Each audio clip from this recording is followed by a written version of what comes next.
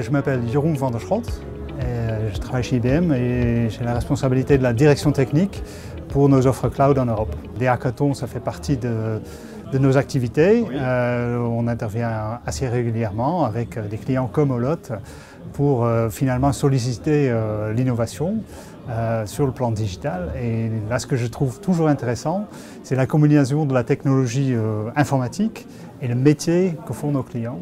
Et en l'occurrence, on a bien vu euh, ici euh, l'interaction entre euh, le monde industriel des nacelles et des clients de, de avec la technologie du cloud IBM qui permet d'innover et de dynamiser ce métier.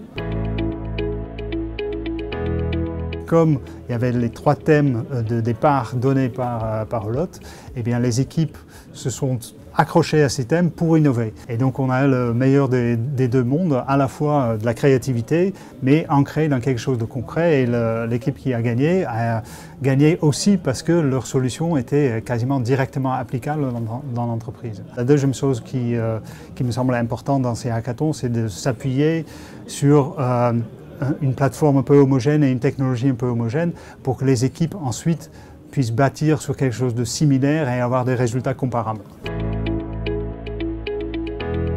Moi j'ai trouvé les équipes très matures, euh, malgré leur jeune âge, sur le, métier de Holot. J'ai eu un, petit coup de cœur pour la première équipe qui, euh, qui s'est beaucoup amusée et qui a fait une, euh, un chatbot, une, solution assez innovante. Euh, Charlotte pour Olot, j'ai trouvé ça bien, bien trouvé. Et puis aussi l'équipe qui finalement n'a pas gagné, mais qui a fait la modélisation en 3D avec un business model associé, j'ai trouvé ça très pertinent. On le referait.